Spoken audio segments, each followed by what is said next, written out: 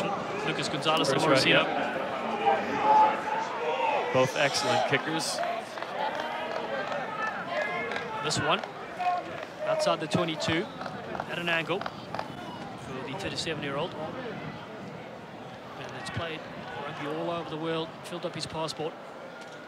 He's loved his time here in Colorado. And they've loved having him here as well. Lucas Gonzalez Amorosino strikes with his first penalty in this game, extends the lead 29-25 for the American.